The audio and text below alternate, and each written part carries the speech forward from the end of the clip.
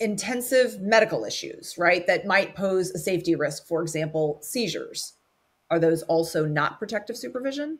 Okay. You cannot what you cannot um, get protective supervision to watch for spontaneous medical emergencies.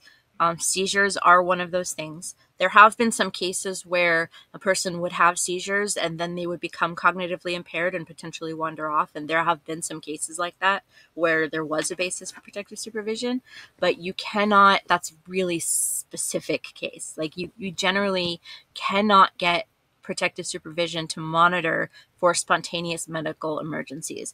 The one exception to that is if the, the medical emergency is being caused by the person's cognitive impact. So, for example, um, if a child has a port, um, or if they have a trach, if they have a G tube and they're constantly yanking at it or tripping over it or pulling it out because they don't understand what it is, they don't understand it's not a toy, they don't understand what will happen if they pull it out.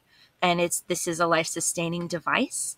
That can be a basis for protective supervision because the child doesn't understand the consequences of disrupting this life sustaining equipment um, that needs to stay connected to them. And the reason for them disconnecting it and potentially harming themselves um, is because they don't understand the consequences of their actions.